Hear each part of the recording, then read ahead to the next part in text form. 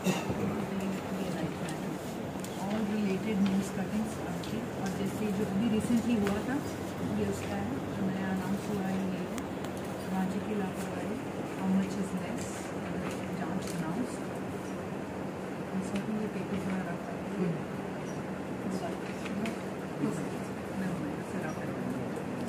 please be open and take it seriously. And if there's any further event, somebody has to stay in the coming.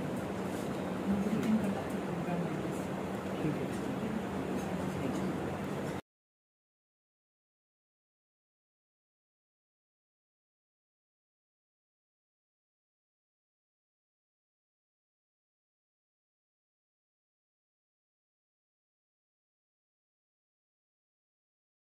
अभी तकरीबन एक हफ़्ता पहले आम आदमी पार्टी अंबाला की पूरी टीम ने एक प्रेस कॉन्फ्रेंस करी थी, जहाँ हमने जो अंबाला में एक अंतर्राष्ट्रीय फुटबॉल स्टेडियम बन रहा है, उससे जुड़े हुए बहुत ही संगीन कुछ मुद्दों पर हमने रोशनी डालने की कोशिश करी और प्रशासन का, मंत्रालय का डिपार्टमेंट्स का सबका ध्यान उसकी तरफ़ आकर्षित करने की कोशिश करी। मुद्दा है कि अंतर्राष्ट्रीय फुटबॉल स्टेडियम, ये स्टेडियम बहुत समय से, मैं कहूँगी जब से बना है, तब से ये घोटालों में और विवादों में घिरा हुआ है।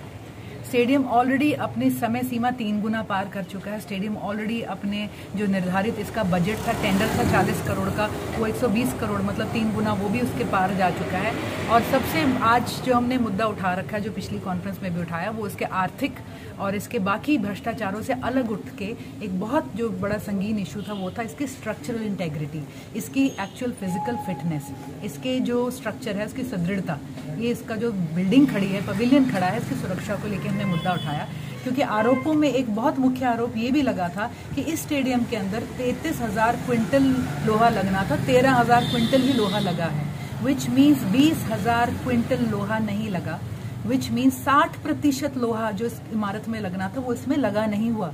चालीस परसेंट से भी कुछ दशमलव नीचे है। तो ये बताइए कि अब हमें हाल ही में यहाँ पर एक फुटबॉल संघ अम्बाला ने एक यहाँ पर फुटबॉल का मैच करवा दिया अंडर 14 और अंडर 17 का। जब तक ये मैच स्टेडियम नहीं खुला था, हमें था कि सरकार इसकी सुरक्षा को लेकर कुछ ना कुछ कदम उठा देगी। पिछले साल जब पता चला, जब अखबारों की हेडलाइंस में ये न्यूज़ आई कि स्टेडियम में तकरीबन 60 प्रतिशत लोहा नहीं लगा है और इसके जो नट बोल्ट जो इसके इतने बड़े फ्रेम को ज़मीन में गाड़े खड़े हैं, वो भी पूरे साइज़ के और डेप्थ के नहीं हैं। तो इसके ऊपर सरकार ने एक जाँच अनाउंस करी थी कि हम आईआईटी मद्रास एनआईटी कुरुक्षेत्र और पंजाब इंजीनियरिंग कॉलेज से एक जाँच करवाएँगे। उस अखबार की कटिंग में ये भी लिखा था कि सरकार ने बहुत कड़ा रुख अपनाते हुए कहा है कि तीन महीने के अंदर इस जाँच की रिपोर्ट ली जाएगी। एक साल हो गया, किसी ने उस जाँच का आज तक कोई कागज़ नहीं देखा। इस साल फरवरी में, पूरे एक साल बाद जब ये एलिगेशन उठे, हमने एक आरटीआई लगाई जिसमें हमने कहा, वो इन्वेस्टिगेशन रिपोर्ट हमें दे दीजिए आईआईटीज ने करी है on the physical fitness structural integrity of the stadium तो उसका जवाब में ये आया कि इसका जो स्ट्रक्चर है, उसका निरीक्षण केवल और केवल एनआईटी कुरुक्षेत्र ने किया और केवल और केवल बनने से पहले मतलब जब नक्शा बना था, तब स्टाम्प एनआईटी कुरुक्षेत्र ने मारी थी। एलिगेशन आने के बाद, इल्ज़ाम लगने के बाद, आधुनिक मशीनों से जाँच करके जब ये लिखा हुआ है कि पता चला यहाँ लोहा कम है, उसके बाद ना आईआईटी मद्रास, ना आईआईटी दिल्ली, ना एनआईटी कुरुक्षेत्र ने कुछ भी करा है।